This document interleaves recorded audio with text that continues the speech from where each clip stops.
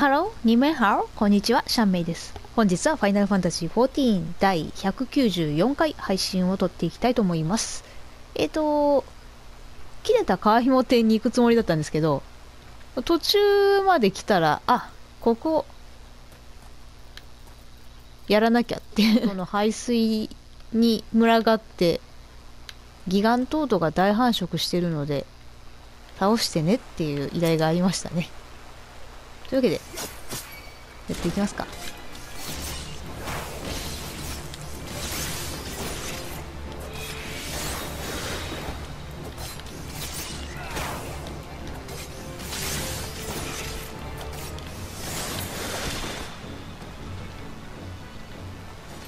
あと、2体。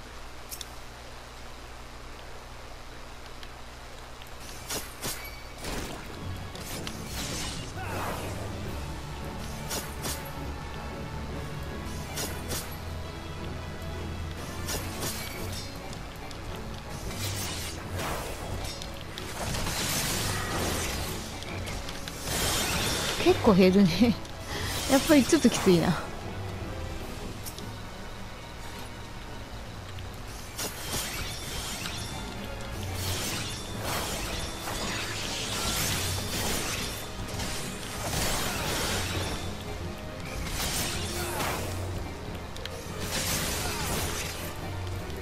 残影切れるのが早い。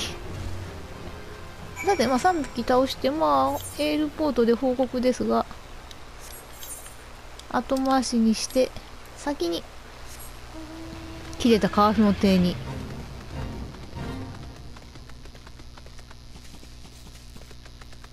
あ変な方回り込んじゃった。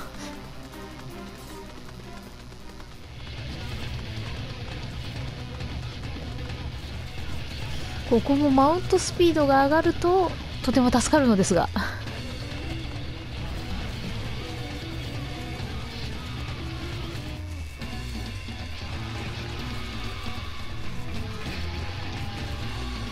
で切れた川紐艇までやってまいりました。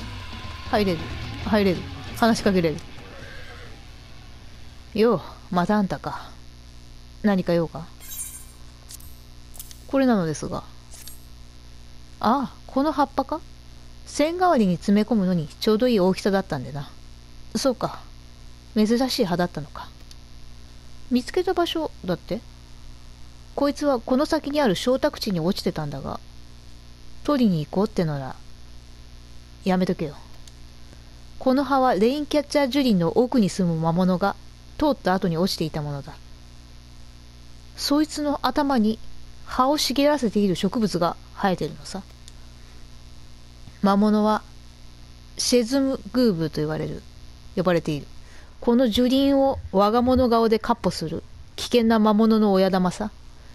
生きてこその人生だ。無茶はよせよ。ご親切に。だが取りに行かではならんのです。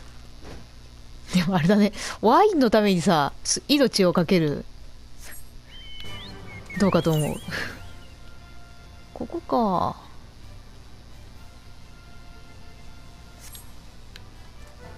ちょっと危ないから戦士でいっとこうか。防御力2倍ぐらい違うもんね。違うなこっちか。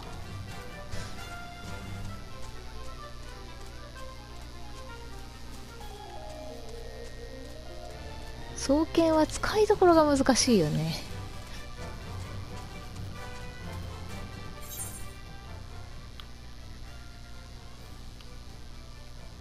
これもやんなきゃね。これと。もう一個どこだろう。これか。はいはいはい。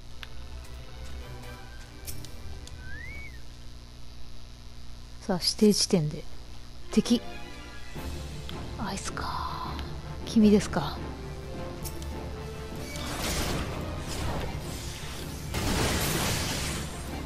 なかなかに。硬くていらっしゃる。バーサクの力。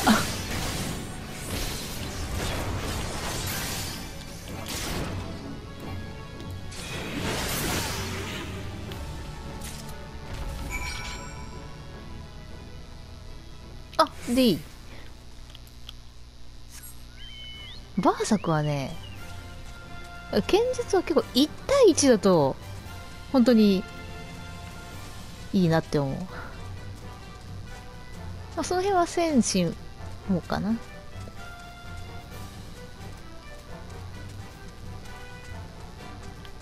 戦士じゃないないとか。ないと思うだけど。あ違う。ここじゃない。あれもう報告でいい？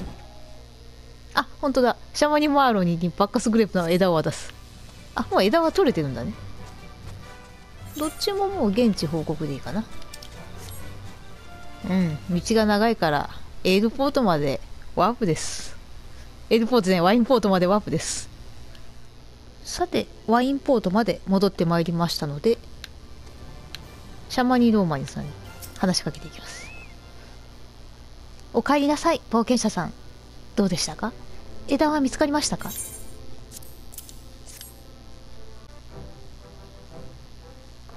これはこの香りは間違いない。これを育てればきっと蘇らせることができますよ。伝説のバッカスグレープを。聞こえましたよ？い今の話は本当なのですか？私でさえ諦めていたバッカスグレープの枝を。素人であるシャマニ・ローマニと冒険者が見つけた？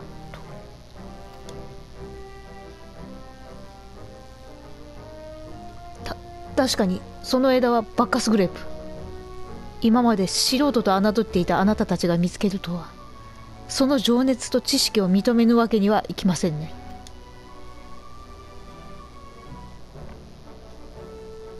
な何ですって？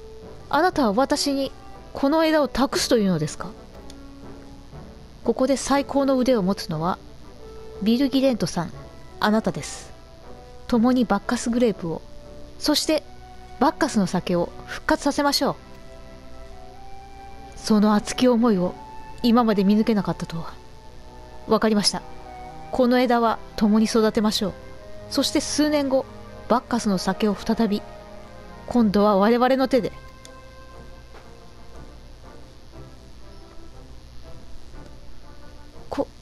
このラベルの肌触りまさかバッカスの酒？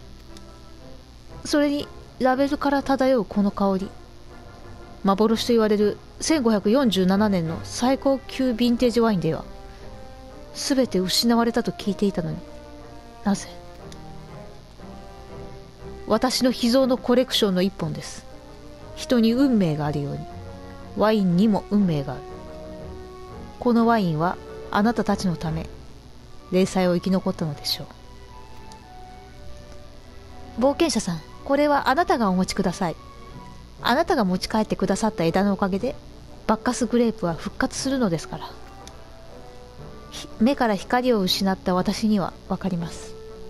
さまざまな人があなたによって救われた。あなたの心は確かに見届けました。さあ早くコスタ・デルソルへ。特別な晩餐に合う。最高のワインを届けてください。ウェイスケート副団長もお待ちかねですよ。よかったよかった。私はいいのです。数年後自分たちが作ったバッカスの酒をいくらでも飲むことができるのですから。うん。なんか悪いね。なんか数年待たせる形になっちゃうけど。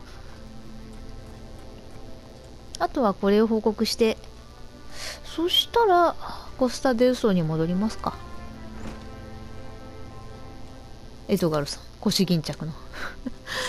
これでビル・ギレンド様もお喜びになられるでしょう。それにしてもワインのために自然が犠牲になるなんて人ってつくづく業が深い生き物ですよね。なんだろうなこの人の喋りなんかね全部他人事な感じがするんだよね。下がる。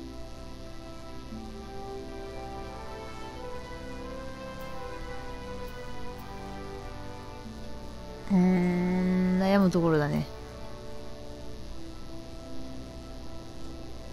1500は大きいからなでも。ビル・ギレンとなんか喋りが変わったりする？あれ？さっきあんなになんかこう優勝確かめ合った感じだったのに冒険者が私に何の用ですか？あなたほど暇ではないのですよ。あなたのことを教えてほしい。私はこのワインポートのオーナーです。安酒しか飲まない冒険者は知らないでしょうが真に質の高いワインとは生き物なのです。丹精込めてブドウを育て樽の中で発酵させワインセラーでゆっくりと呼吸をさせて育て上げる。これほどやりがいのある仕事を私は他に知りません。ワインポートでワインを飲むなら最初の一滴から最後の一滴まで味わって飲みなさい。酔えれば何でもいい連中にうちのワインは売りません。どんなところですか？ここはラノシア？いえ。エオルゼアで最も美味なるワインが作られる場所です。大地が育んだブドウと良質の井戸水に支えられ毎年多くの美酒が生まれているのです。あ川とかそば流れてるけど井戸水なんだね。ポートと呼ばれるのはワイン流通の中心地ゆえそんな俗説は私に言わせれば全くのデタラメワインという美の大海原にこぎ出す港なのですよ。ここはね。あはい。精神論きた。えー、っと。じゃあここでやることはとりあえずなくなったのですがこのすぐ上の高知ラノシアここにちょっと向かいたいかなと思います。ここにトレジャーハンターの話が出ておりますので。でレベル35なんで36なのでまあ文句で言っておきますかね。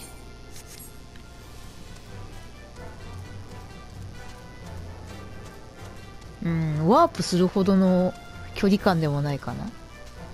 と思うけどどうだろう。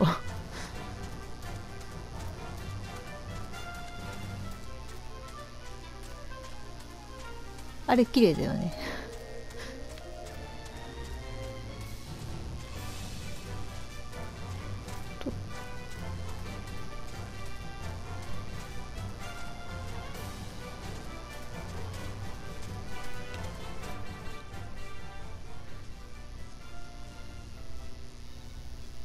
さてブロンズブレイクまでやってきました。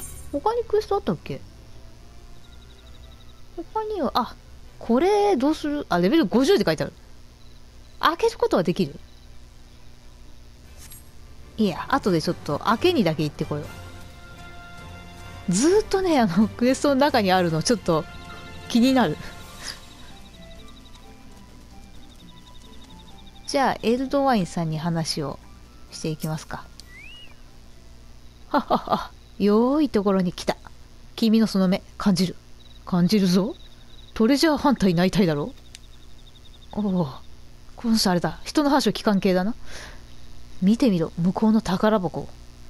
あれは、このトレジャーハンターエルドワインが、秘密の知識と素敵な技能で掘り起こしたのだ。どこにあるんだろう。どうだい？ビンビンと感じるだろう歴史とロマンと宝の香りをよ。早く宝箱の中身とご対面したいところだが、宝箱を開ける権利は、新米トレジャーハンターの君にあげよう。あえて新米に花を持たせるとは。くぅ、なんたる優しさ。ハンサムすぎる自分が憎い。さあ、早く行ってこい。中身はやらんが、歴史に名を残すチャンスだぞ。大丈夫だ。魔物なんて絶対に出ないから大丈夫だ。これあれかな出るやつかなうん。出るやつだよね。どこ？ん？あこれね。小汚い宝箱。出るでしょ？ほれび言わんこっちゃない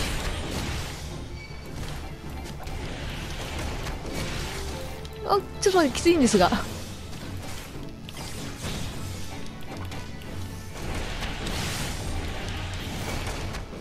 あなんか食らった。ん4体おる？1体見えないか。シースがねすげえ邪魔なんだけど。今今しまえない。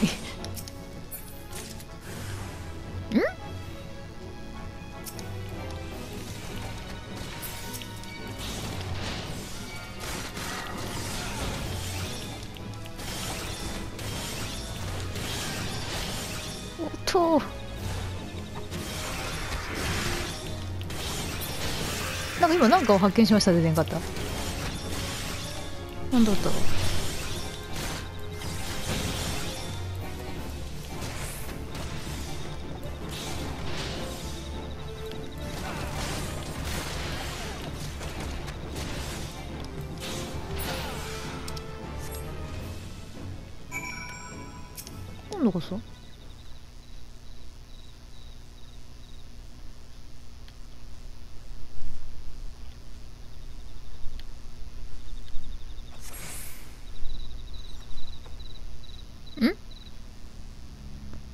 割れた薬瓶と小銭の袋を手に入れた。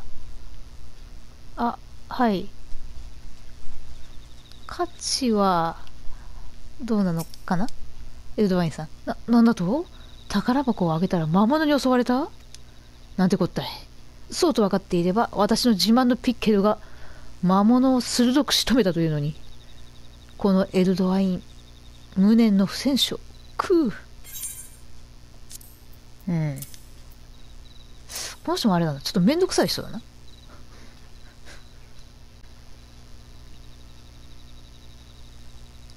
なんだ？この薬瓶は宝箱の近くに落ちていただと？そうか。わかったぞ。この薬瓶、宝箱を無理に開けると割れ、魔物を誘引する匂いを発する仕掛けだったのだ。つまり、ただの罠。何の価値もないゴミだ。しかし本命のお宝は小銭だったか。おっと、はした金とはいえ、もちろん君にはやらんぞ。お宝が欲しければ自分で古ぼけた地図を見つけたまえ。あ、なんか何個かあるんですけど、エオルゼア各地には古ぼけた地図が隠されておる。しかし、それらは大抵の場合暗号で記されており、君のような新米には解読すらできないだろう。だが、不覚にも、新米トレジャーハンターたる君に罠のかかった宝箱を開けさせてしまった一件もある。詫びとしてトレジャーハントに必要な能力を授けよう。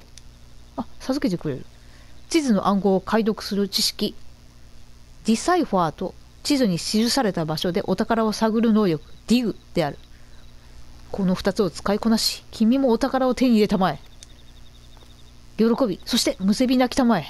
これで君もロマンを求める夢追い人、トレジャーハンターになったのだから。どうした？どどうした？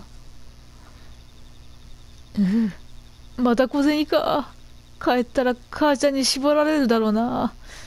いつまでも夢見てないで定職につけって。あはい。ディサイファーとディグうん。ありがとう。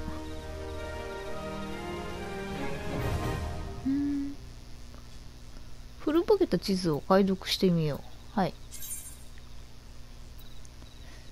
えっ、ー、と、ゼネラルアクションリサイファーにより古ぼけた地図を解読できます。地図を解読するとイベントアイテム、宝の地図になり、財宝が隠されている場所を確認できるようになります。なお、宝の地図には同時に1枚しか所持することができません。他の古ぼけた地図を解読したい場合は、宝の地図に記された財宝を発見するか宝の地図を捨てる必要があります。何？なるほど。なんか発生してるね。レベルいくつ ?31 か。頑張れるかないや、残り時間が？す。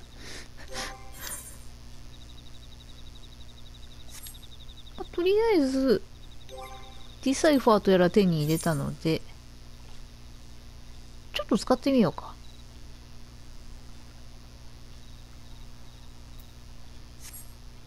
えー、っとね、今持ってたかな？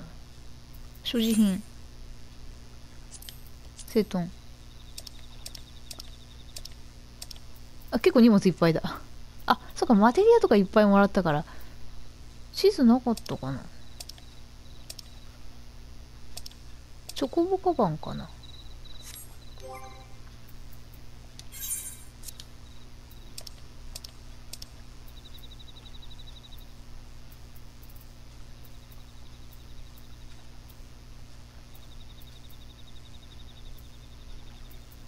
ちょっと待ってこの辺はちょっとチョコボカバンに入れとこう。これもチョコボカバンかな。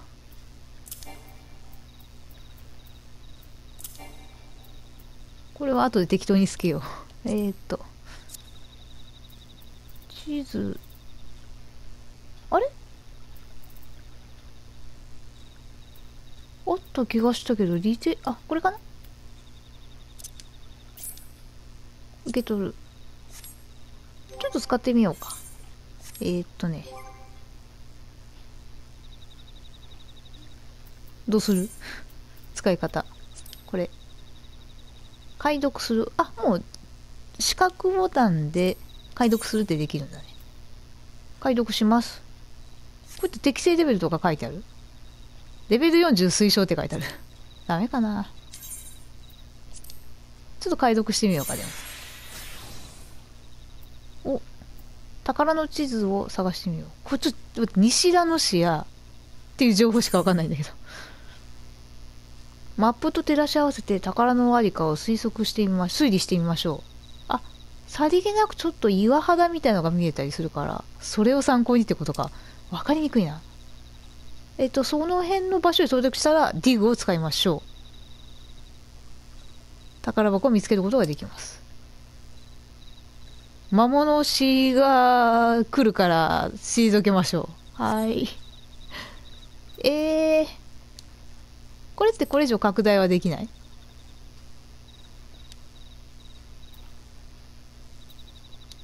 使うってどういうこと？あ使うっていうかこの状態か。あ出しっぱなしにしとけるってことね。この地図を。つっても西良野市やかちょっとここじゃないなじゃあまた後でちょっと探してみますかねよし、じゃあ、えっ、ー、と、もう、コスタデルソルまでワープで大丈夫だと思うので、コスタデルソルまでワープです。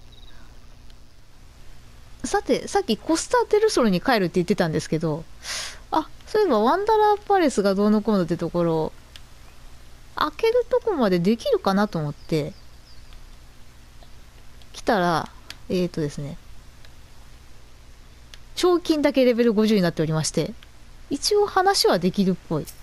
ので話だけしておきますか。アバジチャラジさん。あんたもアリーンに言われてきた口か？あいつめ、あそこで仲間を失ってからというもの。暴言者に片っ端から声をかけやがる。お宝目当てでワンダラーパレスに侵入した俺たちは、そこに住んでいた伝説の魔物、トンベリに襲われた。結果はこのざま。生き残ったのは俺とアリーンの二人だけ。他の仲間はやられちまった。お宝なんて目にする間もなかったさ。それでもあんたが行くというのなら止めはしない。船だって渡してやるさ。恋人を失った辛さは理解でせんでもないが、何も見ず知らずの冒険者まで巻き添えにしなくても。アリーン、今のお前はまるで死神だよ。ああ。まあ、一応じゃあ本当はここから余震聖域ワンダーラーパレス。へえ、まあ、全然いけるレベルじゃないのでダメですけども。へえこっから本当は船乗っていくみたいな感じなんだね。うん。まあこれであのどの場所にいてもこのコンテンツファインダーで突撃できるようになりましたかねワンダラッパです。全然いけないですけどね。さて、そんなわけで今度こそ、えー、っと、コスタデルソルに戻ります。さて、コスタデルソルまでやってまいりましたので、ベイスケートさんに報告をしていきます。よう、帰ってきたのか。最高のワインは手に入ったのかバッカスの酒が。こいつはバッカスの酒か？とんだお宝を手に入れたもんだ。この短期間で全てを片付けるとはな。お前の冒険者としての力は確かに見せてもらった。まったく驚いたぜ。さてでも双剣があげたい。でベイスケルさんに話しかけていきます。いや待て。えーと、そろそろいい時間になってしまいましたので、えーと、では、今回194回はここで終わっておきますかね。えー、では、この続き、次回195回は続きからなります。えー、ではご覧いただきありがとうございました。また次回配信でお会いしましょう。失礼します。